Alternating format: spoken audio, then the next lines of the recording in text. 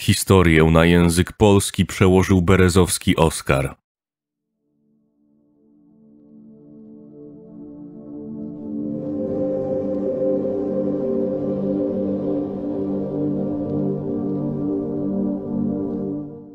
Efekt Mandeli. To hasło nigdy nic dla mnie nie znaczyło. Fakt brzmi upiornie, ale nie było to coś, o czym myślałem dłużej niż pięć minut. Szczerze mówiąc, nie wiedziałem nawet, co to jest, aż do czasu studiów. Nie przepadam za teoriami spiskowymi, historiami o duchach ani niczym podobnym, więc czego się spodziewać? Naprawdę, chciałbym dalej być tak nieświadomy. Wszystko zaczęło się na zajęciach z nauk przyrodniczych. Miałem wtedy 20 lat i był to koniec semestru jesiennego na Uniwersytecie stanu Floryda. Moja profesor, dr Arnold, wyznaczyła nam wcześniejsze egzaminy końcowe, ponieważ miała serce i nie chciała, żebyśmy uczyli się wszystkiego naraz. Uznała, że zrobienie naszych egzaminów przed wszystkimi innymi da nam czas na naukę jej przedmiotu bez przeszkód, a potem da nam czas na naukę wszystkich innych z nieco mniejszym stresem. Uwielbiałem ją za to. Ale część mnie żałuje, że postanowiła nas w ten sposób pobłogosławić. Większość osób opuściła ostatni dzień zajęć. Wszyscy wiedzieli, że tak naprawdę nic już nie robimy i każdy chciał po prostu skończyć semestr. Mimo to niektórzy z nas byli związani polityką obecności dotyczącą naszych stypendiów, a inni pojawili się z uprzejmości dla dr Arnold. Osobiście byłem obecny, ponieważ uwielbiałem jej zajęcia. Jeszcze jedna godzina i piętnaście minut jej zajęć były dla mnie zaletą. I cholera, nie miałem nic lepszego do roboty. Zaczęła zajęcia nieco inaczej niż zwykle. Często zaczynaliśmy od bieżącego wydarzenia z wcześniejszego tygodnia. Czegoś o GMO, dramatycznie malejącej populacji żyraf lub czegoś innego, związanego z naukami przyrodniczymi. Ale dzisiaj przyjrzeliśmy się starszemu artykułowi, który nie był związany z biologią. Chodziło o efekt Mandeli. Nigdy wcześniej o tym nie słyszałem. Większość z nas nie słyszała, ale ona się tym pasjonowała. Starsza pani była zwykle dość żywiołowa podczas nauczania, choleryczna, gdy ktoś się z nią nie zgodził, ale rany. Dzisiaj była pełna entuzjazmu. W porządku. Dla tych z Was, którzy byli na tyle łaskawi, by pojawić się dziś na moich zajęciach, mam nie lada gratkę. Nauczę Was czegoś, czego prawdopodobnie nigdy nie zapomnicie. A może to zignorujecie. Nie wiem. Ale jeśli zaintryguje Was to tak jak mnie, jestem pewna, że będziecie szczęśliwi, że tu przyszliście.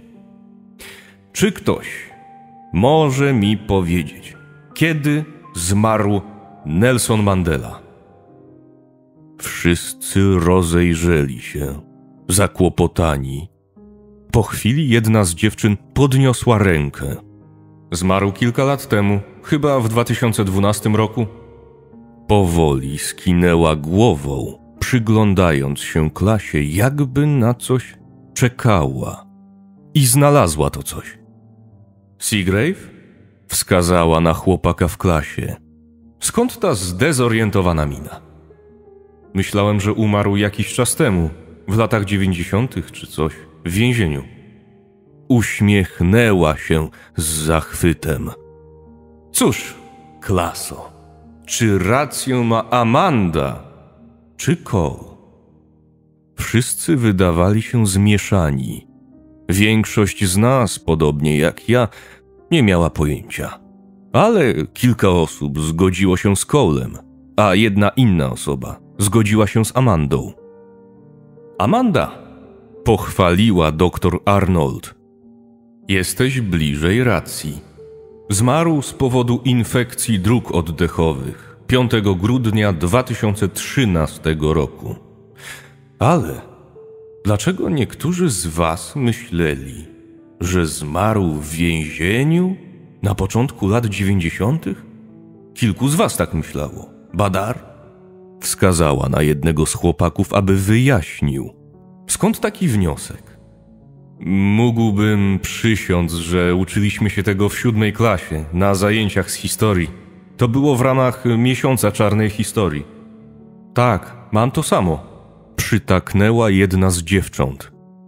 Miesiąc czarnej historii, kiedy byłam mała. Zmarł, a potem była ta sprawa z jego żoną, że próbowała pozwać jakąś firmę? Doskonale. Doktor Arnold była bardziej zadowolona z siebie niż kiedykolwiek przedtem. Pamiętacie, że to wszystko zostało powiedziane. Tyle, że o dziwo, nigdy tak nie było. Nic z tego nigdy nie zostało powiedziane. Sprawdźcie. Wejdźcie na Google i wyszukajcie Nelson Mandela śmierć. Nie znajdziecie nic o latach dziewięćdziesiątych ani o więzieniu. Wpiszcie Nelson Mandela śmierć w więzieniu. Nie znajdziecie artykułu CNN ani filmu dokumentalnego o jego pogrzebie, który był transmitowany przez telewizję na całym świecie. Nie znajdziecie jego rzekomej przyczyny śmierci i nie znajdziecie nic o zamieszkach w południowoafrykańskich miastach, ponieważ nic z tego się nie wydarzyło. Trochę mnie to zdziwiło. Większość klasy milczała i czekała, aż ona to wyjaśni. To zjawisko, znane jako efekt Mandeli, uśmiechnęła się. Całkowita tajemnica enigmatyczna anomalia na Ziemi bez naukowego wyjaśnienia. Od tego momentu godzina i piętnaście minut minęły błyskawicznie. Wydawało mi się, że minęło pięć minut, kiedy nadszedł czas, aby się rozejść. Pozostawiło mnie to całkowicie oszołomionego. Generalnie istnieje teoria, że Nelson Mandela rzeczywiście zmarł w więzieniu w latach dziewięćdziesiątych. Ale potem wydarzyło się coś, co w jakiś sposób odwróciło to wydarzenie, a on żył dwie dekady dłużej, zanim ponownie zmarł w 2013 roku. Chociaż niektórzy z nas nie przypominają sobie śmierci Mandeli w XX wieku, inni to pamiętają. Pamiętają wiadomości, gazety, serdeczne przemówienie wdowy po nim. Ale wszystko to zniknęło z wszechświata, gdy nastąpiło to wydarzenie i zmieniło historię. Wszystko, co pozostało, to te ogromne, zbiorowe wspomnienie. Ci ludzie, którzy wiedzą, że zginął w ten sposób i wszyscy pamiętają to samo, ale jest to błędne. Osobiście nie pamiętam, by powiedziano mi, żeby Mandela zmarł w latach dziewięćdziesiątych, ale wielu ludzi tak. Stoją za tym dwie teorie. Pierwsza i mniej powszechna to podróże w czasie.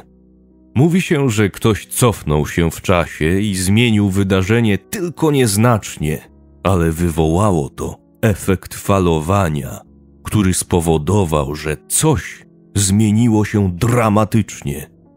Oto prosty, zmyślony przykład. Bob ożenił się z Sally. Bob i Sally spotkali się w centrum miasta w sierpniu 2005 roku.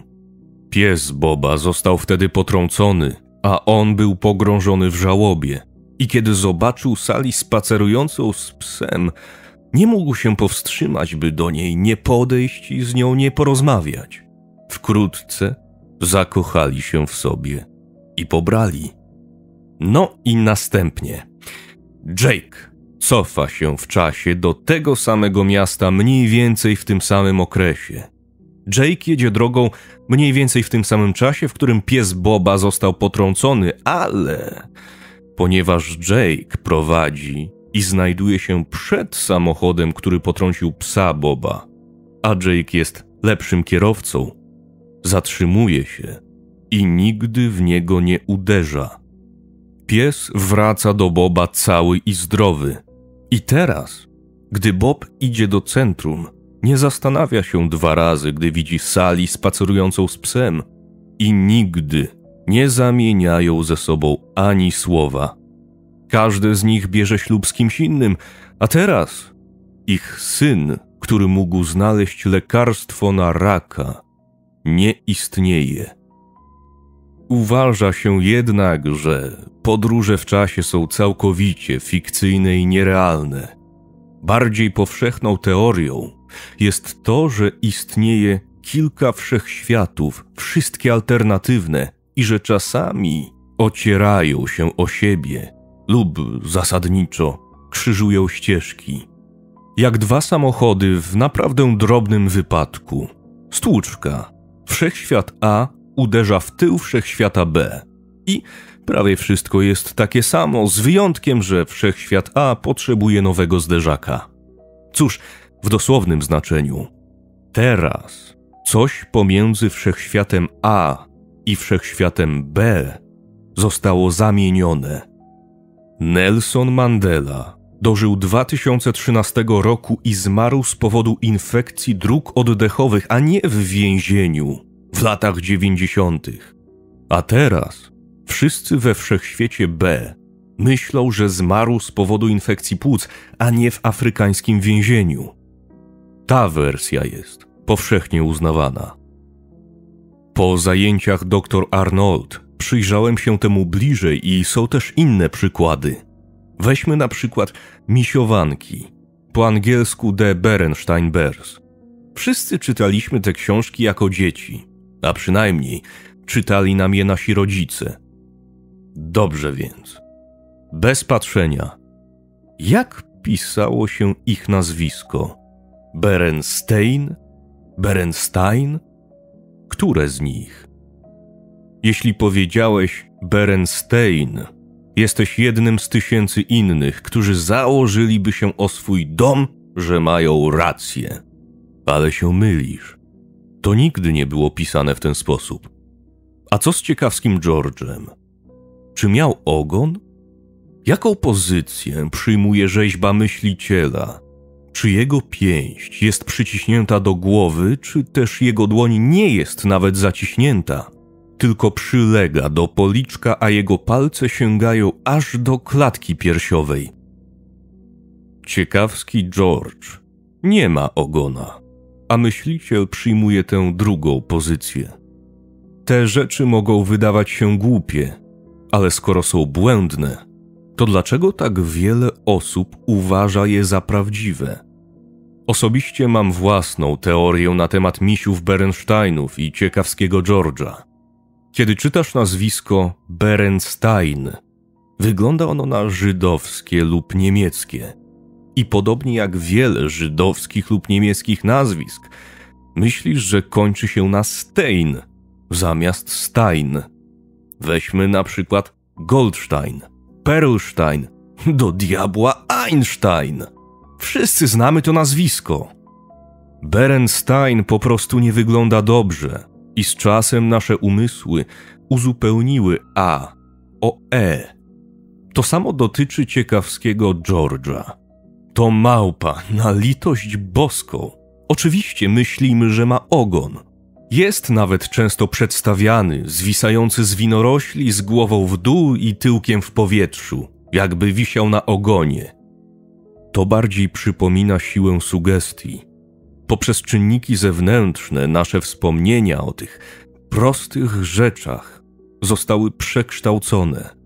Ale jest też myśliciel, maska grobowa króla Tuta i oczywiście Nelson Mandela.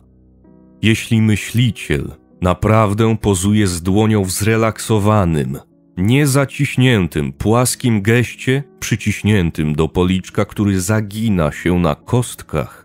To dlaczego pamiętamy jego dłoń, całkowicie zwiniętą i opartą o głowę? I nie tylko my, ale także popularne kreskówki przedstawiają to w ten sposób. Dlaczego tak wiele osób popełnia ten błąd? a maska grobowa króla Tuta.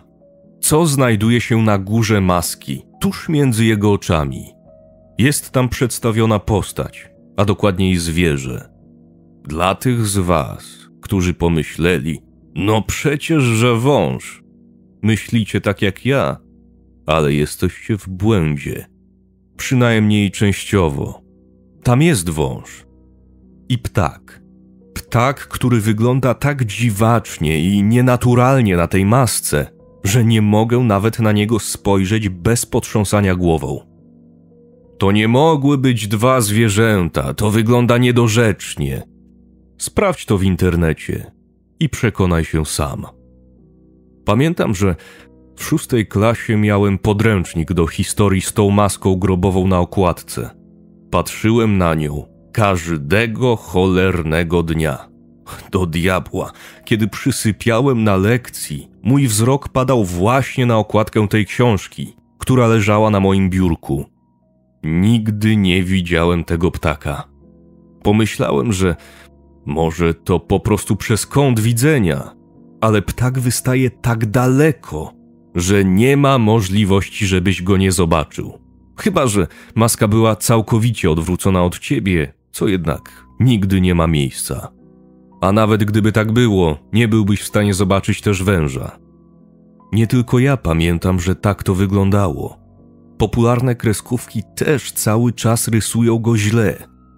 Ale od 1323 roku przed naszą erą zawsze na masce był ptak.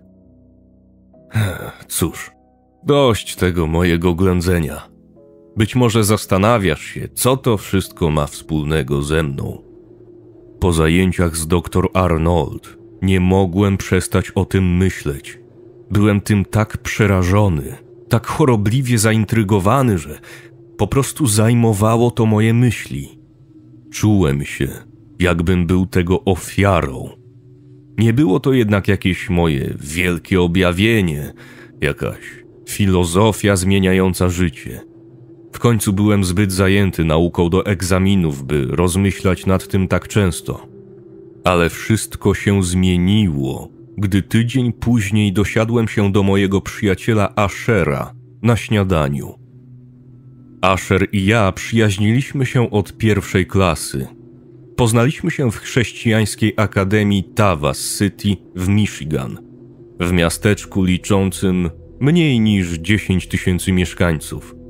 Zawsze było tam mroźno, ponuro, szaro i cicho.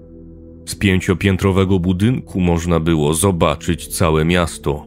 Znajdowały się tam kilometry opuszczonych pól kukurydzy, a jedynym prawdziwym źródłem dochodu w mieście był mały port, w którym łowiono ryby. Później dowiedziałem się, że najwyraźniej w innych krajach Tawas City w stanie Michigan jest znane jako stolica świata obserwacji ptaków. Podobno migruje tam wiele gatunków ptaków i jest to świetne miejsce do ich obserwacji. Nigdy tego nie zauważyłem. Wszystko, co pamiętam, to śnieżne, szare niebo, ciche pola kukurydzy i uczucie, że gdyby to miejsce zostało zmiecione z powierzchni ziemi, nikt by tego nie zauważył. Oczywiście szkoła publiczna była kiepska, ale szkoła prywatna prawie nie istniała. W mojej klasie było nas piętnaścioro, szesnaście wliczając nauczycielkę, a przynajmniej tak myślałem. Ach, umieram z głodu. Westchnął Asher, wchodząc przede mną do jadalni. Był wczesny sobotni poranek, to był ostatni tydzień semestru i uczyliśmy się wtedy intensywnie. Pomyśleliśmy, że nasz dzień spędzimy robiąc to samo co zwykle połączenie niekończącej się nauki i opierania się chęci kupienia Aderalu, który był dość popularny na kampusie w tamtym czasie. Ale mój dzień w ogóle się z tego nie składał. Usiedliśmy przy naszym tradycyjnym stoliku Włosy Ashera rude i potargane jak zawsze. Był rudy, a do tego psotny. Był żartownisiem i ledwo zaliczał zajęcia. Był tu dla alkoholu i dziewczyn, a jego oceny to odzwierciedlały. Ale jak to robią najlepsi przyjaciele, zmusiłem go do nauki i zdania. Jednakże śniadania były strefą wolną od szkoły. Wszelkie wzmianki o lekcjach i testach były w knajpie zabronione. Tutaj chcieliśmy pozbyć się tego wszystkiego z naszych umysłów. Ostatnim razem, gdy się spotkaliśmy, nawijałem w kółko o efekcie Mandeli. Do tego stopnia, że miał ochotę wsadzić sobie nożyczki w uszy. Więc dziś starałem się o tym nie wspominać. Mówię ci, stary. Napił się kawy. Kiedy to się skończy, idziemy imprezować jak szaleni. Jak szaleni, Sean. Nie chcę pamiętać, gdzie byłem, kiedy obudzę się rano. Zaśmiałem się. tak, stary. Na pewno. Nie żałujesz czasem, że nie jesteśmy w Tawas? To znaczy nie w Tawas City, ale po prostu na zajęciach. Myśleliśmy, że są takie trudne. Obaj się roześmialiśmy. Boże, w jakim byliśmy błędzie. Oj tak, to był zupełnie inny wymiar stary.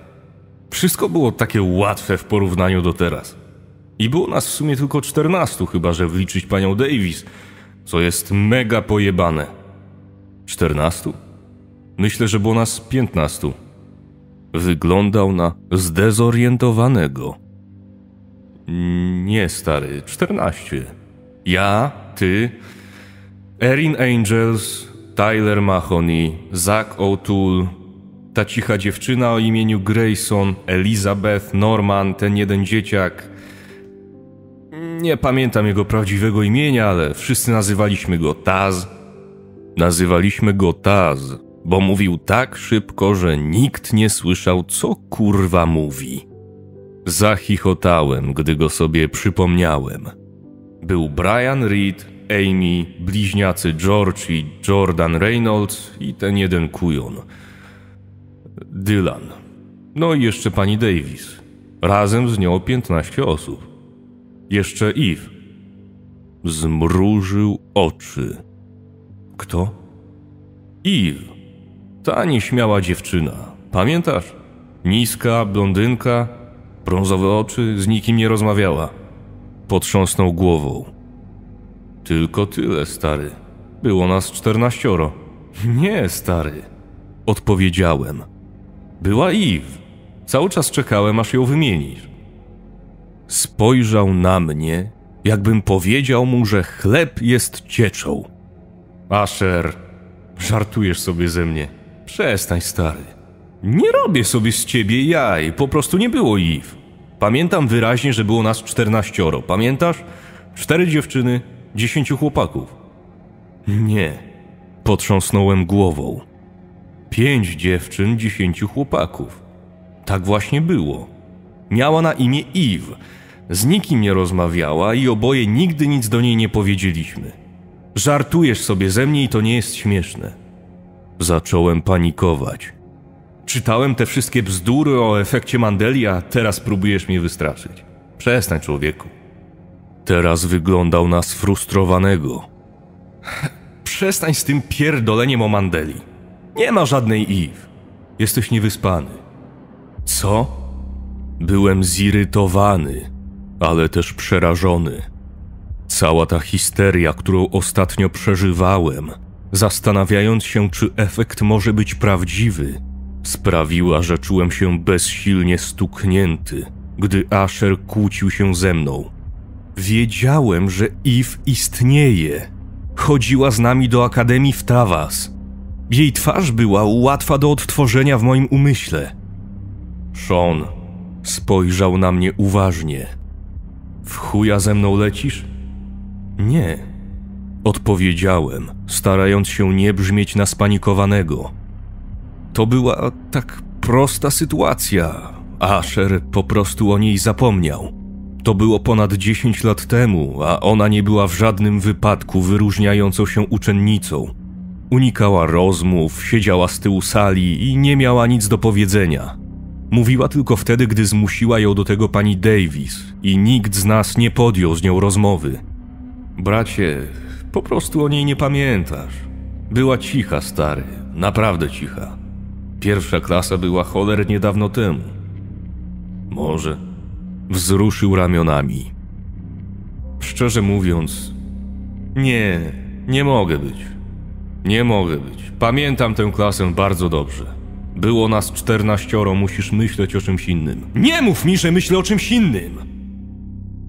Poczułem się beznadziejnie. A tobie co odjebało? Spojrzał na mnie. Człowieku, to nie jest śmieszne. Wiesz, że to całe gówno z Mandelą mnie przeraża. Proszę, Asher, przestań. Błagałem. Wyglądał na przerażonego. Sean, nie pogrywam z tobą. Dlaczego się tak martwisz, stary? Masz. Podał mi kawę. Wyluzuj, chłopie. Wyluzuj, to nic wielkiego. Wszystko gra. Była tam z nami. Asher. Pamiętasz grupę czytelniczą? Było nas piętnastu, w każdej grupie było nas pięciu. Eve była w mojej grupie. Nie, chłopie. To znaczy masz rację, że w każdej grupie było pięć osób. Ale pani Davis była w grupie. Pamiętasz? Nie. Chodziła i nadzorowała. Argumentowałem. Asher.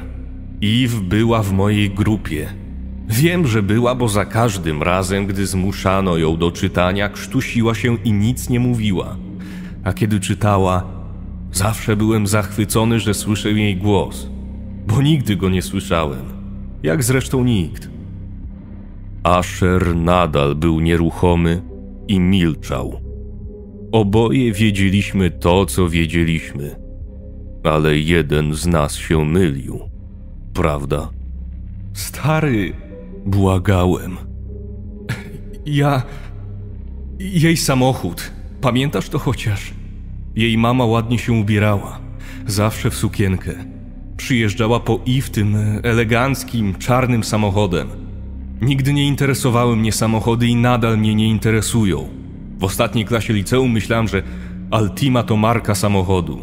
Nie potrafiłem odróżnić Porsche od Hondy, ale pamiętam jej samochód, bo wyglądał bardzo ładnie. Prawdopodobnie był to Cadillac lub coś podobnego. Daj spokój, stary. Zawsze myśleliśmy, że wygląda fajnie, kiedy przyjeżdżała na parking. Jej mama przyjeżdżała jako pierwsza każdego dnia, a Eve wstawała szybko ze swojego samotnego zakątka na ławce i podchodziła do samochodu. A jej mama wychodziła, ładnie ubrana, nawet jeśli padał śnieg, i przytulała ją. Za każdym razem. I zawsze ładnie pachniała, bo mama też przytulała ją każdego ranka i pachniała jej perfumami. Teraz Asher wyglądał na zmartwionego. Sean potrząsnął głową. Nie pamiętam jej. Powiedziałbym, że myślisz o kimś z innej szkoły, ale chodzimy do tej samej szkoły od pierwszej klasy i nie pamiętam jej. Totalnie.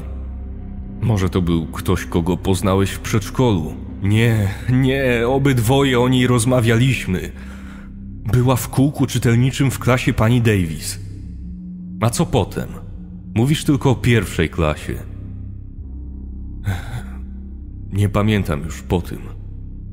Musiała się przeprowadzić, ale była w pierwszej klasie, pewnie dlatego o niej zapomniałeś. Przeprowadziła się, a ty pamiętasz nas wszystkich, którzy ukończyli tam piątą klasę. Nie, stary. Pamiętam też pierwszą klasę. Nie było jej tam. Pani Davis była moją ulubioną nauczycielką. Pamiętam ten rok bardzo dobrze. Nie było tam dziewczyny o imieniu Eve. Nie wiem właściwie dlaczego, ale chciało mi się płakać. Wyobraź sobie, że przez całe życie nigdy nie wierzyłeś w duchy. Potem oglądasz jakiś horror i jest tam scena, w której główny bohater patrzy w lustro, a potem odbicie przestaje za nim podążać i robi swoje, co jest przerażające. Potem po prostu myślisz o tej scenie, ponieważ tak bardzo cię przestraszyła. Ale hej, to tylko film. Nie jest prawdziwy. I to jedyna rzecz, która powstrzymuje cię przed ponownym spojrzeniem w lustro. Ale potem dowiadujesz się, że film jest oparty na prawdziwej historii. Każdy mógłby tak powiedzieć. Jest oparty na prawdziwej historii, jak wszystkie horrory. To, że może być prawdziwa, nie znaczy, że jest. Nic nie jest całkiem trafne. I wtedy ci się to przytrafia. Wychodzisz spod prysznica, suszysz się i przypadkiem spoglądasz w lustro. Podnosisz ręcznik, aby osuszyć włosy, ale kiedy pojawia się twoje odbicie, jego ramiona są z boku i wpatruje się w ciebie. Jasna cholera! Jesteś przerażony. To dzieje się naprawdę. To ci się przydarzyło i nie można temu zaprzeczyć. Tak właśnie czułem się przy tym stole. Może nie było to tak konkretne, ale wiedziałem, że Eve była w tej klasie. Pamiętam ją jak własną kieszeń, ale Asher nie. W ogóle. To było jak ptak na masce grobowej króla Tuta, jak ręka myśliciela rozciągająca skórę jego policzka, jak nieobecne nagranie z wielkiego pogrzebu Nelsona Mandeli na początku lat dziewięćdziesiątych. Czułem się, jakbym miał dostać ataku paniki. Przez resztę dnia niczego się nie uczyłem. Byłem zbyt przytłoczony. Z całych sił starałem się wpleść Eve w szkolne wspomnienia, ale była niekompatybilna. Nie pasowała. Nie pasowała do mojego starego kościoła. Nie pasowała do sąsiedztwa, w którym dorastałem. Nie pasowała nigdzie, poza pierwszą klasą z panią Davis. W końcu tej nocy zadzwoniłem do mojej matki. W tym momencie nie byłem do końca przekonany, że jestem świadkiem efektu Mandeli. Jakaś część mnie pomyślała, że Asher po prostu palił za dużo trawki w liceum i zapomniał o niej. I wiedziałem, jak sprawdzić, czy miałem rację. Powiedziałem mamie, że nie usłyszy ode mnie zbyt wiele w tym tygodniu ze względu na naukę, którą w pełni szanowała. Była więc bardzo zaskoczona, gdy do niej zadzwoniłem. Hej, Sean! Mówiła podekscytowana. Co tam? Cześć, mamo. Chciałem cię o coś zapytać. Pamiętasz y, dziewczynę o imieniu Eve z klasy pani Davis? Niską blondynkę z brązowymi oczami? To losowe pytanie. Odpowiedziała. Um, nie, nic mi to nie mówi. Na swoje siódme urodziny zaprosiłeś wszystkie dzieci, ale nie pamiętam ich. Tak, zaprosiłem ją, ale nie przyszła. Przypomniałem sobie. Była bardzo nieśmiała. Pewnie dlatego o niej zapomniałaś. Cóż, e, mam kilka twoich zdjęć z pierwszej klasy. Mogę ci je wysłać, a ty mi ją wskażesz, jeśli ją na nich zobaczysz. Dlaczego w ogóle o to pytasz? Asher też jej nie pamięta. Po prostu mnie to trochę dziwi. Zaśmiałem się, próbując ukryć zdenerwowanie. Ech, tak, byłoby fajnie, gdybyś wysłała te zdjęcia. Masz to z całą klasą? To z wszystkimi czternastoma? Te słowa sprawiły, że poczułem się bardzo niekomfortowo. E, piętnaście. Było nas piętnaścioro, mamo. Nie, czternaście. Tak myślałam. Co jest kurwa? Szepnąłem. E, Mamo, tak, po prostu wyślij mi zdjęcia, jeśli możesz. Wszystko w porządku, Sean? Po prostu dziwnie się czuję. To dziwne, że nikt jej nie pamięta. Nie mam zdjęcia klasowego. Westchnęła. Chciałabym mieć. Mama Ashera może mieć. Może Asher je od niej dostanie? Ale wyślę ci te, które mam. Dobrze. Dzięki, mamo. Rozmawialiśmy po tym trochę dłużej. ale mój umysł nie był zajęty rozmową. Myślałem tylko o Eve. Pamiętałem jej drobną sylwetkę, idealną posturę, osobliwe sukienki, które nosiła na zajęcia. Pamiętałem jej zapach, który do dziś pojawia się czasem w supermarketach lub w salach wykładowych na sekundę, na tyle długo, by przypomnieć mi pierwszą klasę. Pamiętałem jej głos, gdy w końcu zdobyła się na odwagę, by poczytać w naszym kółku czytelniczym.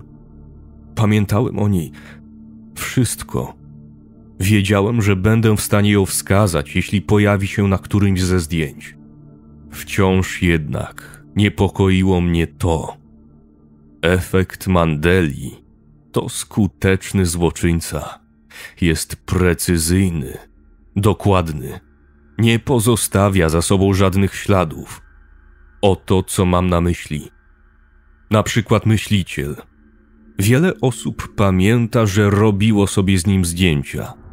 Wiedzą, że myśliciel nie wyglądał tak jak teraz, kiedy robili zdjęcie, więc wracają i znajdują swój stary album z wakacji, ścierając kurz i niechętnie znajdując ich pozujących z byłą żoną przed posągiem – Cała praca i niezręczność przeglądania starego albumu poszła na marne, ponieważ na zdjęciu myśliciel robi dokładnie to, co pamiętają, że nie robił. Jeszcze dziwniejsze są popularne zdjęcia przedstawiające ludzi stojących tuż przed posągiem, pozujących z pięścią przy głowie stoją przed tym cholerstwem. Czy nie sądzisz, że może zauważyliby, że nie robią tego, co myśleli, że robią i nie pozowaliby nieprawidłowo tuż przed nim? Ale może nie są kompletnymi idiotami lub po prostu nieświadomi. Może kiedy robili to zdjęcie, przyciskał pięść do czaszki, a potem kiedy efekt Mandeli wystąpił w jakimś niemożliwym do zidentyfikowania, niedokładnym momencie, zdjęcie się zmieniło, ale na nim tylko posąg. Wszystko inne, co nie było posągiem, pozostało takie samo, co zaowocowało dziwacznym obrazem ludzi, pozujących nieprawidłowo tuż przed nim – Wiedziałem, że jeśli to jest efekt Mandeli, z którym mam do czynienia, to nie ma sensu odbierać tych zdjęć. Niezależnie od tego, czy i wstała tam, gdy zdjęcie zostało zrobione 13 lat temu, czy nie, nie będzie na nich widoczna. Jedynym sposobem na uchwycenie efektu Mandeli są rzeczy relatywne. Na przykład ludzie źle pozujący przed pomnikiem – a to nie było relatywne. Gdyby wszechświat usunął Eve z istnienia, nie byłoby jej na żadnym z polaroidów. Ale i tak chciałem to sprawdzić. Może coś by się wyróżniało. Moja mama wysłała cztery zdjęcia. Pierwsze przedstawiało mnie, Ashera, Briana Rida, Taza i Normana bawiących się pewnego dnia w błocie. Drugie również nie było przydatne. Tylko ja i Asher siedzący przy stole piknikowym pewnego wieczoru na podwórku. Trzecie zdjęcie było jednak interesujące. Było to zdjęcie z koncertu bożonarodzeniowego. Cała nasza piętnastka uczyła się trzech pieśni kościelnych, by zaśpiewać je na koncercie, a nasi rodzice przyszli i patrzyli – to było upokarzające dla nas wszystkich. Może z wyjątkiem Erin, która urodziła się, by być gwiazdą, ale było to szczególnie żenujące dla Eve. To zdjęcie natychmiast przywołało moje wspomnienia, a to, co sprawiło, że było tak dziwne, to formacja dziewcząt. Na zdjęciu widać nas wszystkich na scenie – jest jeden podest i część z nas stała na nim, a pozostali stali z przodu na samej scenie. Po lewej stronie są chłopcy, pięciu z przodu i pięciu na podwyższeniu. Po prawej są dziewczyny, trzy z przodu i jedna na podwyższeniu między dwiema dziewczynami. Wygląda na to, że brakuje kogoś na zdjęciu. Erin jest po lewej, Amy obok niej, Elizabeth obok Amy, a Grayson stoi na podwyższeniu między Erin i Amy. Eve pasowałaby idealnie między Amy i Elizabeth. Idealnie. Dlaczego do cholery umieścili trzy dziewczyny na scenie i jedną dziewczynę na podwyższeniu asymetrycznie? Zwłaszcza gdy chłopcy są idealnie ustawieni. To nie miało żadnego sensu. Pamiętam i w tamtej nocy, jak bardzo była przerażona. Pamiętam jej białą sukienkę i myśl, że chociaż raz wszyscy byliśmy ubrani jak ona, a ona się nie wyróżniała. I pamiętam, jak płakała za kulisami i śmiertelnie bała się wyjść. I nie śpiewała przez cały czas, ale po prostu zamarła. Założę się o moją duszę, że to wszystko się wydarzyło. Ostatnie zdjęcie również było bezużyteczne. Tylko ja i Brian Reed podczas meczu kickballu, który rozegraliśmy ostatniego dnia szkoły. Brian Reed próbuje mnie wybić, a ja biegnę jak szalony do pierwszej bazy. Zapisałem to zdjęcie z koncertu bożonarodzeniowego w moim telefonie. To był dowód, który musiałem pokazać Asherowi. Następnego dnia, gdy spotkałem Ashera, pokazałem mu to zdjęcie. Ku mojemu zaskoczeniu, faktycznie miało na niego wpływ. Wydawał się nerwowy, gdy zaczął zastanawiać się nad tym, jak dziwnie wyglądało zdjęcie. Powiedział mi, że gdybym wspomniał o Eve teraz, po tym jak zobaczył zdjęcie, pomyślałby, że to zbieg okoliczności. Ale skoro wspomniałem o Eve zanim którykolwiek z nas je zobaczył, było to o wiele dziwniejsze. Wciąż jednak nie był gotowy, by uwierzyć w efekt Mandeli. Nie tak jak ja. Ale był na tyle ciekawy, że zapytał matkę, czy ma nasze zdjęcie klasowe. Miała. Oboje czekaliśmy z niecierpliwością, aż je wyślę. Nie pamiętałem nic z tego zdjęcia.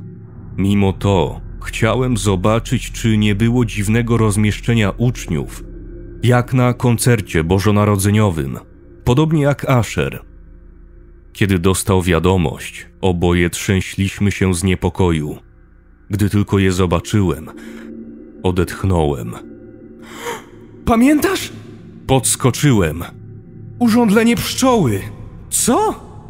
Asher wzdrygnął się zaskoczony moim krzykiem. Asher! Chwyciłem go. Widzisz, jak stoimy? To przez Eve. Pani Davis stała pośrodku nas. Siedmiu z nas po lewej stronie i siedmiu z nas po jej prawej stronie.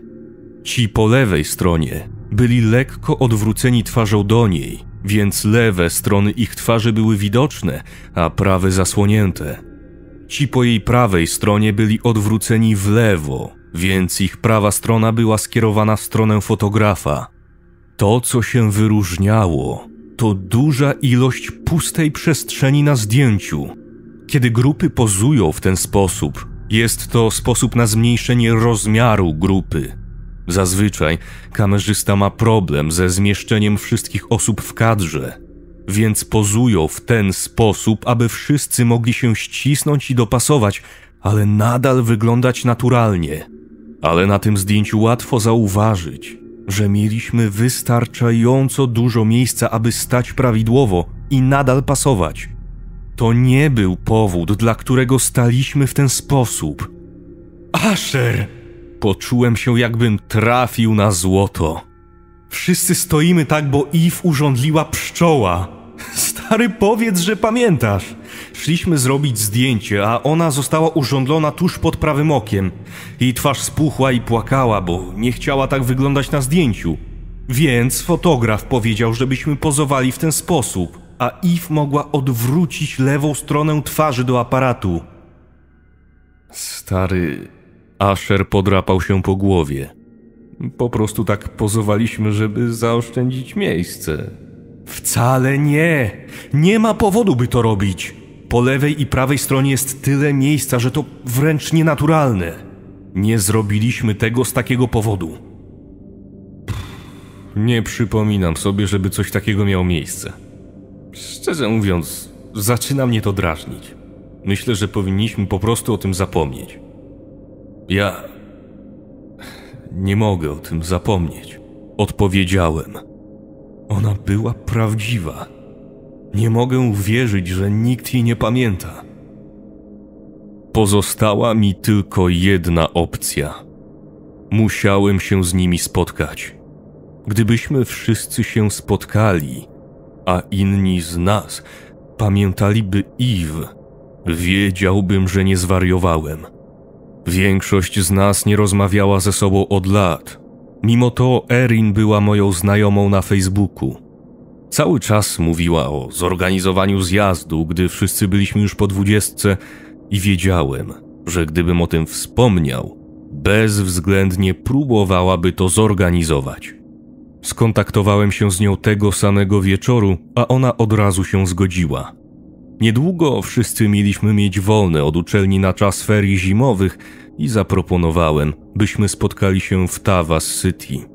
I tak wybierałem się tam, by zobaczyć się z rodziną na Boże Narodzenie. Moja mama od dawna sugerowała, żebym zorganizował zjazd w jej domu. Powiedziała, że będzie zaszczycona, mogąc go zorganizować. Kiedy powiedziałem o tym Erin, nie mogła być bardziej zgodna. Zapewniła mnie, że skontaktuje się z pozostałymi. Powiedziała, że ze wszystkimi piętnastoma. Moje serce przyspieszyło. Zapytałem: Cała piętnastka? No, Odpowiedziała. cała piętnastka. My i pani Davis.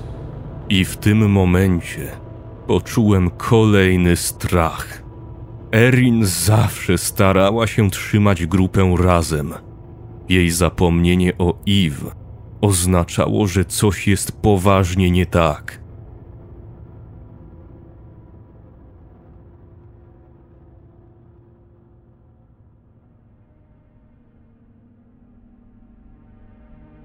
Kiedy nadszedł 18 grudnia, byłem zszokowany, wjeżdżając na mój stary podjazd.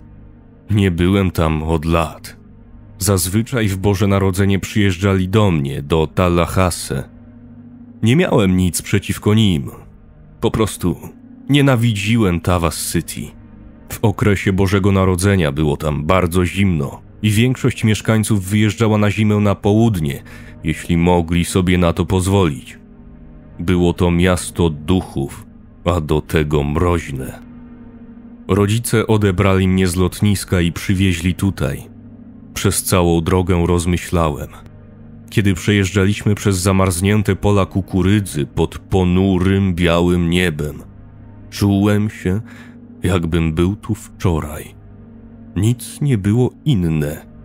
Wszystko było całkowicie rozpoznawalne. Być może jedyną różnicą było to, że niektóre ze starych budynków wyglądały na jeszcze starsze, jeszcze bardziej zniszczone i opuszczone. Przez całą jazdę, a zwłaszcza kiedy wróciłem do domu, zanim ktokolwiek inny dotarł na miejsce, naprawdę jedyne o czym mogłem myśleć to Eve. Czułem się bliżej niej w tym złowieszczym, zapomnianym mieście, z powrotem zagrzebany w śniegu. Coś, czego nie czułem od lat. Czułem, że jest na wyciągnięcie ręki. Wiedziałem, że jeśli kiedykolwiek znajdę odpowiedź, to właśnie na tym spotkaniu. Jeśli choć jedna osoba ją pamięta, to nie zwariowałem. Wtedy efekt Mandeli byłby prawdziwy. Eve byłaby prawdziwa, a Asher się mylił.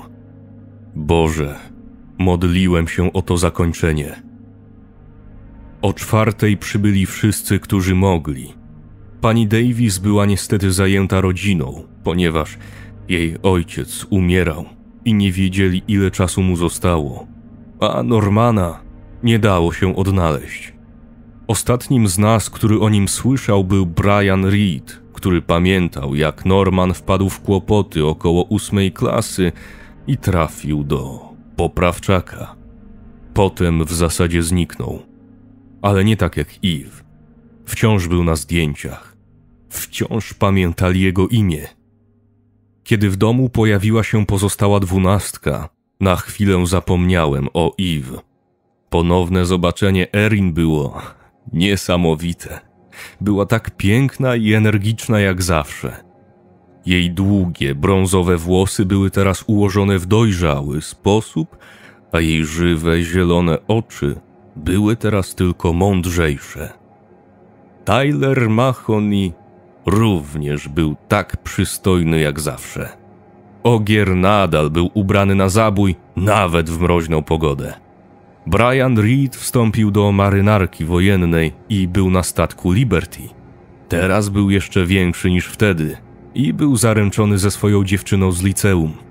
Grayson, z drugiej strony, nie była faworyzowana przez czas. Wyglądała na starszą niż była w rzeczywistości. Pozostała znacznie niższa niż większość z nas, a jej twarz była pokryta trądzikiem. Mimo to była o wiele bardziej towarzyska niż ktokolwiek z nas pamiętał. Zak wyglądał podobnie do tego, jak go zapamiętałem. Opalony, chudy. Jedyna różnica polegała na tym, że teraz miał wąsy. Pracował w Home Depot od czasów liceum i nadal mieszkał z rodzicami, którzy przeprowadzili się do Minnesoty. Amy była nie do poznania. Miała teraz jasno-niebieskie włosy, co niekoniecznie było zaskoczeniem, biorąc pod uwagę, jak buntowniczo dorastała, ale kolczyki były bezprecedensowe. Elizabeth była taka jak zawsze. Ogólnie cicha i słodka, z jej uwodzicielskimi bursztynowymi oczami, których nikt nie mógł zapomnieć. Dylan nie wyglądał tak, jak ktokolwiek z nas myślał. Był teraz zachwycający, wysoki i nosił obfity zarost wzdłuż swojej wielkiej twarzy. Wciąż nosił okulary i cieszę się z tego. Kontakty na Dylanie były po prostu oszałamiające. Miał wyższą średnią ocen niż nawet Erin i wszyscy byliśmy z niego dumni. George i Jordan wyglądali teraz zupełnie inaczej. George był pracownikiem budowlanym i był krzepki i tęgi.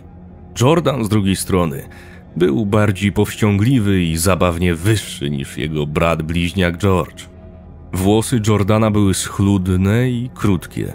Włosy George'a były gęstą plątaniną czarnych loków. Nie mówili już nawet tak samo. George mówił wulgarnie, a Jordan wydawał się być obcy wulgaryzmom. To było intrygujące widzieć ich tak różnych. Taz był tak samo głupkowaty jak zawsze. Ku naszemu zaskoczeniu chodził do koledżu i pracował nad dyplomem biznesowym. Ale kiedy mówił o czymś, co go pasjonowało, nie można było zrozumieć ani słowa. Gdy tylko wszedł do środka, mówił dalej i dalej, a my mogliśmy się tylko śmiać. Był tak samo szalony jak zawsze. Powszechnie uważano, że Asher i ja wyglądamy tak samo. Włosy Ashera wciąż były rude, a moje brązowe. Jego oczy nadal były zielone, moje niebieskie. Jego twarz wciąż była piegowata, moja gładka. On nadal był żartownisiem, a ja nadal byłem cichy przez większość czasu. Jedyną różnicą było to, że oboje byliśmy w lepszej formie, odkąd zaczęliśmy razem biegać. Ale satysfakcja z ponownego spotkania z przyjaciółmi rozproszyła mnie tylko na krótką chwilę. Wkrótce moje myśli wróciły do Iwy. Czekałem, aż pojawi się w drzwiach, ale wiedziałem, że nigdy tego nie zrobi. Czekałem, aż ktoś o niej wspomni, ale wiedziałem, że to się nigdy nie stanie. Z panią Davis i Normanem wszyscy tu byli. Co najmniej mnie to zniechęciło. Może byłem szalony. Może za dużo czytałem o efekcie Mandeli, a to urządlenie przez pszczołę było tylko siłą sugestii, a zdjęcie z koncertu bożonarodzeniowego było po prostu dziwne. Może kiedyś śniła mi się Eve, albo była w moim przedszkolu, a ja po prostu wszystko sobie w głowie poprzekręcałem. Nie było sposobu, by się upewnić. Po kolacji poszliśmy wszyscy do salonu i rozmawialiśmy. Starałem się dobrze bawić, ale coś było nie tak. Eve powinna tam być. Tak bardzo przeszkadzało mi to, że nikt o nią nie zapytał i wiedziałem, że muszę poruszyć ten temat. Ale nie chciałem wyjść na wariata. Asher prosił, żebym o niej nie wspominał, a ja nie chciałem go denerwować. Nie byłem też przygotowany na to, że powiedzą mi, że ją pamiętają. Co bym wtedy zrobił? Nie miałbym złudzeń, ale co wtedy? Przerażająca próba zaakceptowania tego, co się z nią stało, to byłoby prawie niemożliwe. Tak bardzo chciałem usłyszeć od kogoś, że była prawdziwa, ale nie wiedziałem, jak kiedykolwiek o niej zapomnę, jeśli naprawdę będę musiał uwierzyć, że wszechświat o niej zapomniał, zderzając się z jakimś alternatywnym wymiarem i wyrywając ją z burz śnieżnych w Tawas City do innego miejsca oddalonego o lata świetlne, w większości wyglądającego tak samo, z wyjątkiem kilku rzeczy, które były po prostu dziwnie różne. Chciałem pozostać cicho. Chciałem po prostu o niej zapomnieć, ale wiedziałem, że to nie wchodzi w grę. Nie wiedziałem, co jest dla mnie bardziej niepokojące.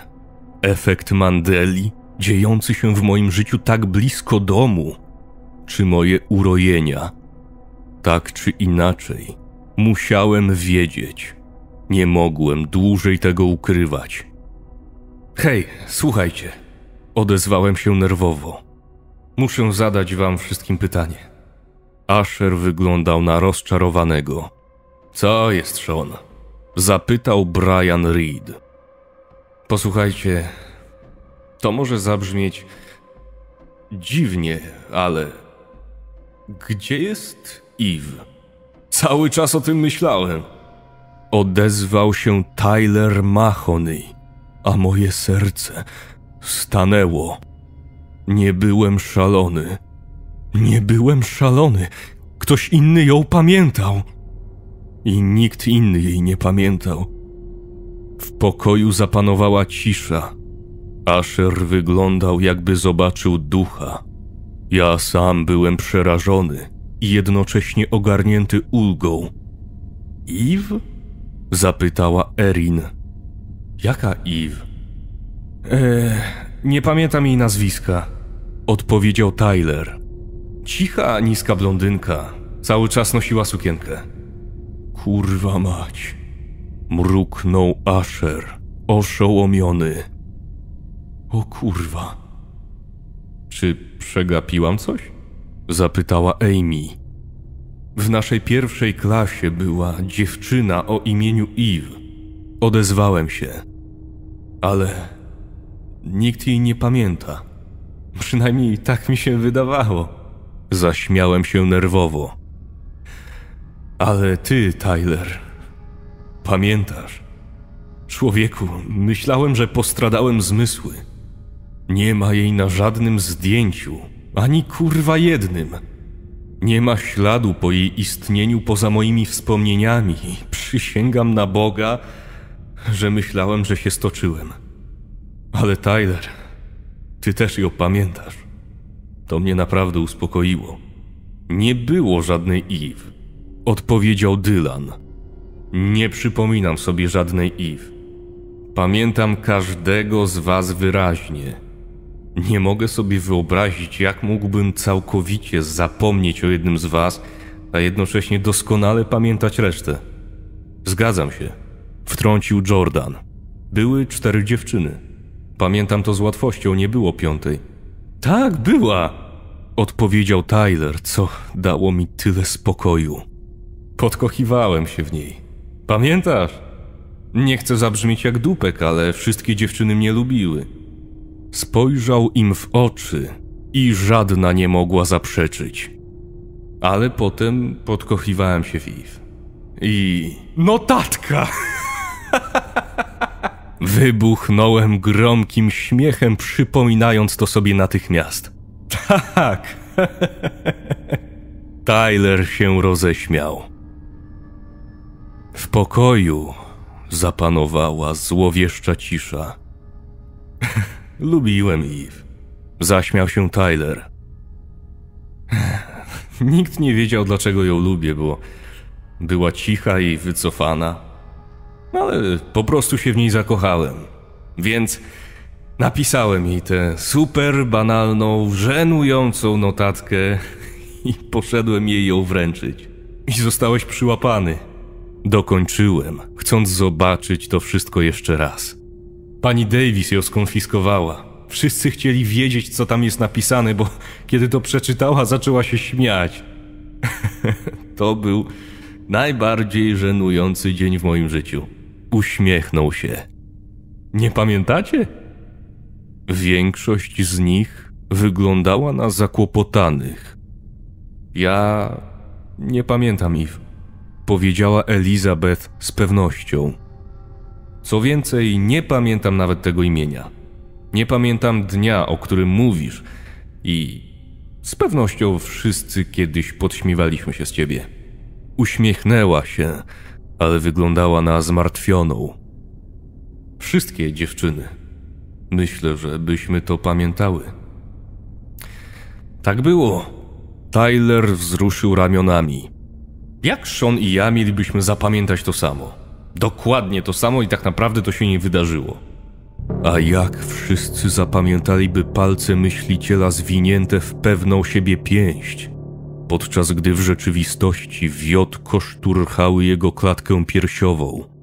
I jak wszyscy zapamiętaliby maskę grobową króla Tutanchamona z samotnym wężem jako jej zwieńczeniem, podczas gdy przez cały czas obok niej znajdował się przejrzysty, jasno skonstruowany ptak. I jak wszyscy zapamiętaliby przedwczesny los Nelsona Mandeli w ponurym, południowoafrykańskim więzieniu, skutkujący potwornymi niepokojami społecznymi, żywo nagranym materiałem filmowym z jego wszechobecnie emitowanego pogrzebu i rozdzierającym lamentem wygłoszonym przez wdowę po jego śmierci, kiedy to wszystko się nigdy kurwa nie wydarzyło. To dlatego, że wydarzyło się coś niepokojącego i niewyobrażalnego.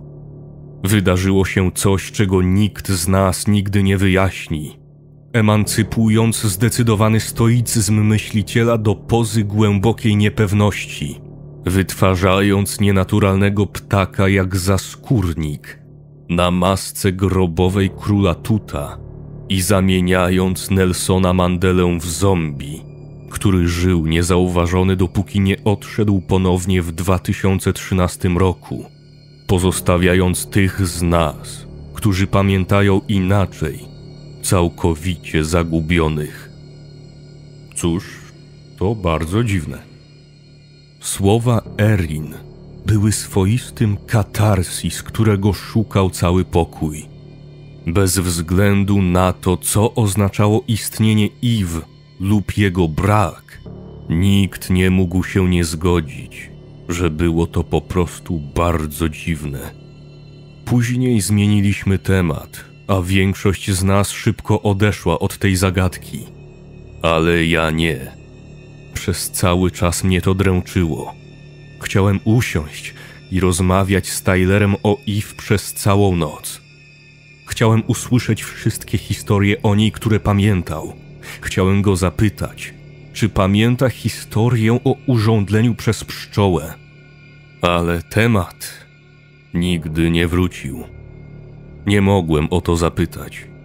Nie chciałem już tego roztrząsać. Wyobrażenie sobie tej małej dziewczynki urządlonej w oko, płaczącej przed dniem zdjęć w naszym zaśnieżonym, pustym mieście, zrobiło na mnie coś, czego nie potrafię wyjaśnić. Samo wspomnienie wystarczyłobym zadrżał. Ta biedna mała dziewczynka, pokazująca lewą stronę swojej pucułowatej twarzy do kamery. Gdzie ona teraz była? Dlaczego nikt nie pamiętał? Starałem się jak mogłem, żeby po prostu zapomnieć. Ale Eve utknęła w mojej głowie. Wiedziałem, że nigdy o niej nie zapomnę. Efekt Mandeli był prawdziwy. Ona naprawdę kiedyś istniała, a teraz nie istniała. Co do cholery się z nią stało? Serio? To było zbyt przerażające, by o tym myśleć, i nie mogłem o tym zapomnieć, bez względu na to, jak desperacko próbowałem. Asher wydawał się być na tej samej łodzi.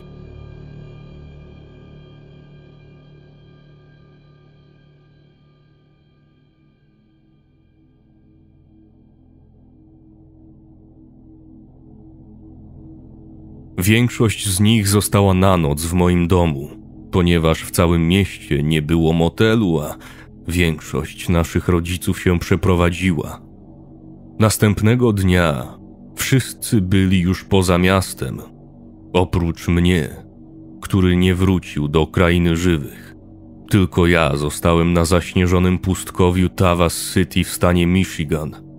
Tylko ja Pozostałem w tym punkcie zapalnym wszechświata, w miejscu, w którym zderzyły się dwie rzeczywistości. Spotkanie nie zakończyło się tak, jakbym tego chciał.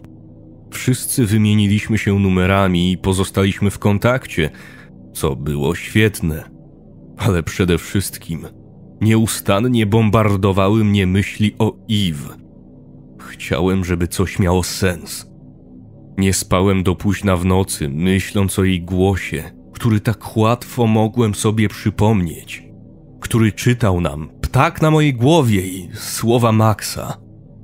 Pamiętam, jak bała się na spotkaniach towarzyskich i jak brnęła przez śnieg wciąż ubrana w sukienkę, choć ozdobiona rękawiczkami i szalikiem, w kierunku swojej kochającej matki, gdzie przytulały się przed jej eleganckim, czarnym samochodem. Przypomniałem sobie płacz Eve, gdy pszczoła urządliła ją w oko. To wspomnienie z jakiegoś powodu zaniepokoiło mnie bardziej niż inne. Po prostu, po prostu mnie dotknęło. Coś w tym było naprawdę głębokiego. Była taka niewinna i było mi jej żal a teraz nie była ofiarą zwykłego urządlenia pszczoły, ale jakiegoś strasznego kosmicznego wydarzenia, które sprawiło, że przestała istnieć. Moi rodzice chcieli, żebym został do Bożego Narodzenia, ale sama myśl o tym mnie dobijała. Nie chciałem zostać na tym pustkowiu jeszcze przez tydzień. Nie znosiłem tego miejsca, a teraz bałem się go śmiertelnie. Czy też zostanę wydarty z mojej rzeczywistości przez kosmos? Już raz tak się stało. Ta tajemnica po prostu pochłonęła dla mnie miasto, zalewając je i sprawiając, że ciągle przypominała mi się Eve, dziewczyna, która przestała istnieć. Mijały dni, a ja tylko siedziałem w salonie i oglądałem telewizję. Lubiłem spotykać się z rodzicami, gdy byli w pobliżu, ale oboje pracowali, a to oznaczało, że spędzałem dużo czasu sam w domu, czego nienawidziłem. W końcu przekopałem się przez moją starą szafę, by znaleźć coś, co mogłoby pochodzić z pierwszej klasy.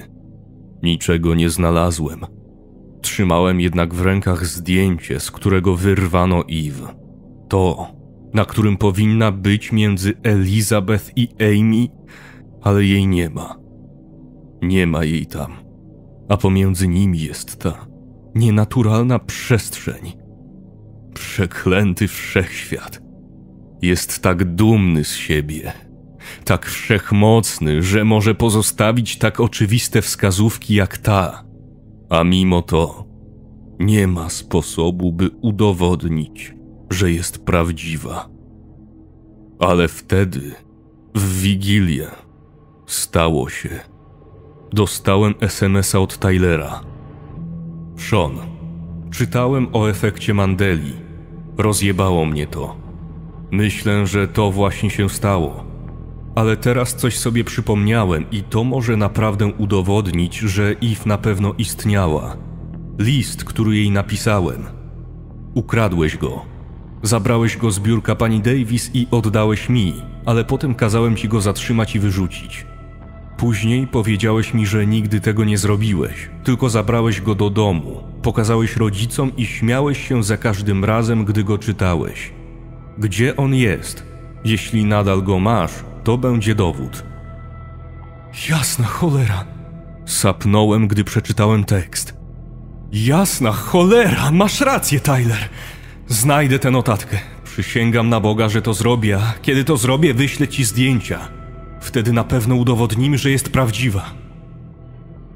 Wiem, co niektórzy z was sobie myślą. Czy notatka też by teraz nie istniała? Cóż, nie. Kiedy pojawia się efekt Mandeli, zmieniają się tylko rzeczy bezpośrednio związane z tym, co zostało zmienione. Dlatego ludzie pozujący przed myślicielem wciąż pozują źle. To dlatego kreskówki, w których maska króla Tuta ma jednego węża i nie ma ptaka, nadal tak wygląda. Jedyną rzeczą, która się zmieniła, jest rzeczywisty obiekt. Tak więc, prawdziwe zdjęcia Eve zniknęły. Została z nich wyciągnięta i nie pozostał po niej żaden ślad. Ale notatka, gdybym ją znalazł, byłaby dowodem, którego potrzebowałem. Wspomniałaby jej imię. Tata powiedział mi, że mogę sprawdzić magazyn. Podobno trzymał tam wiele gratów, których nie sprzątałem z szafy, gdy dorastałem, i jeśli gdziekolwiek się znajdowały, to właśnie tam. Nawet słabo teraz pamiętałem, że ją ukradłem, jak podły dzieciak, którym byłem, i czytałem ją od czasu do czasu, żeby się pośmiać. Jakaś część mnie chciała poczekać, aż mój ojciec wyjdzie z pracy i sprawdzić schowek z nim, ale w jakiś sposób wiedziałem, że nigdy nie znajdę notatki, jeśli on tam będzie. Czułem, że muszę to zrobić sam.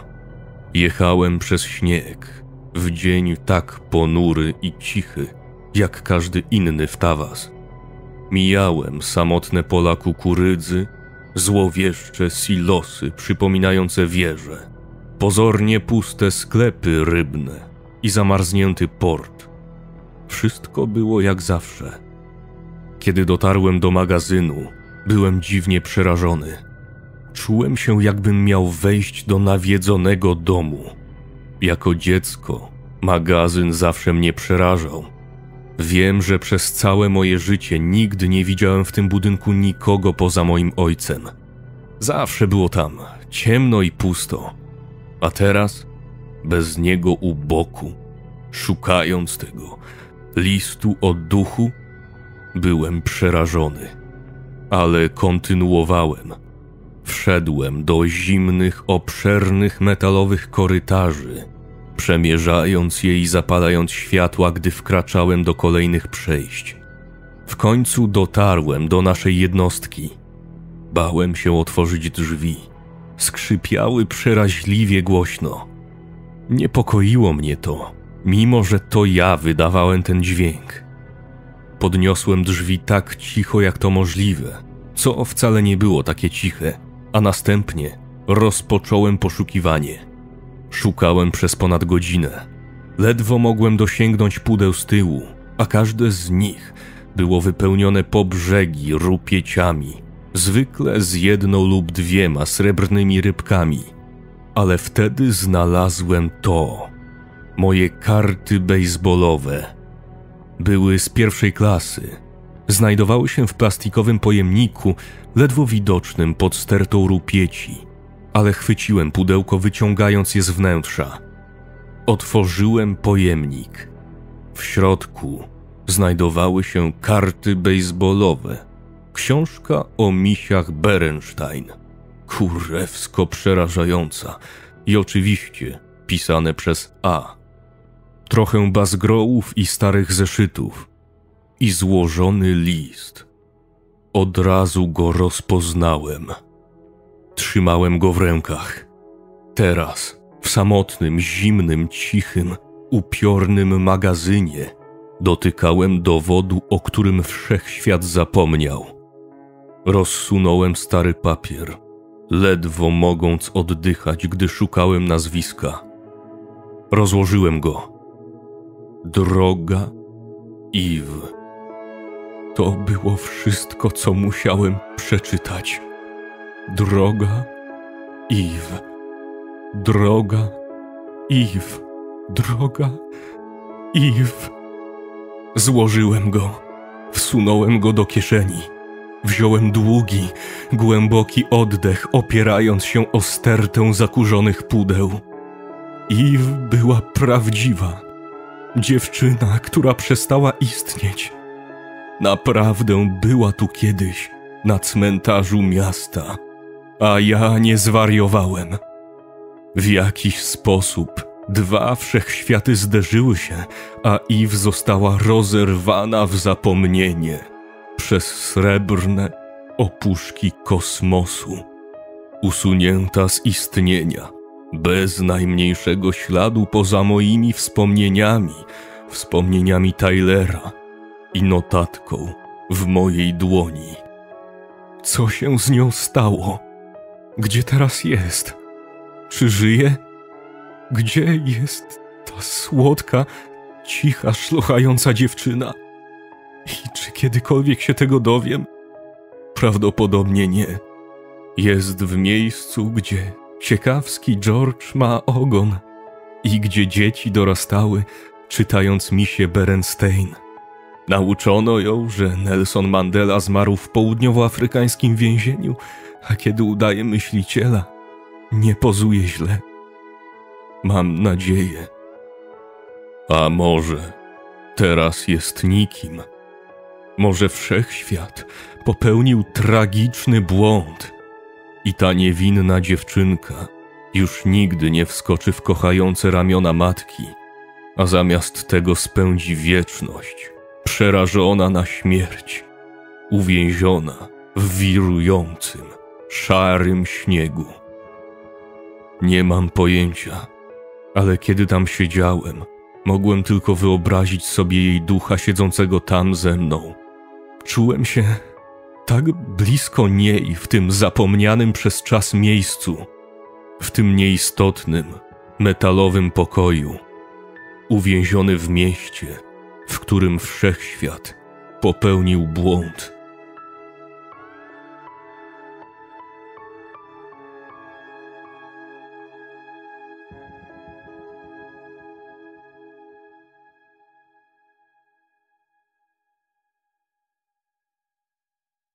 Kiedy w końcu wróciłem do Tallahassee, nie mogłem poczuć większej ulgi.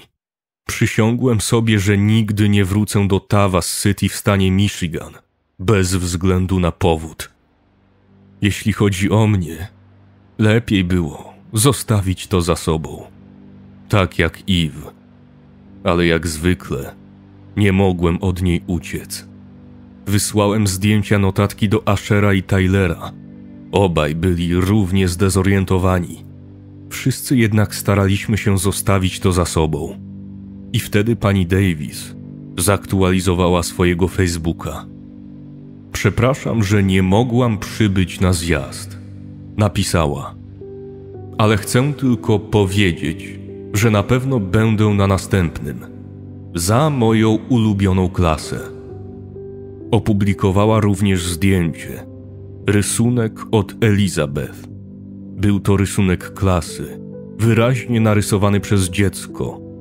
Amatorski, prosty, niechlujny, kolorowym ołówkiem ale choć prosty, nie było w nim nic normalnego.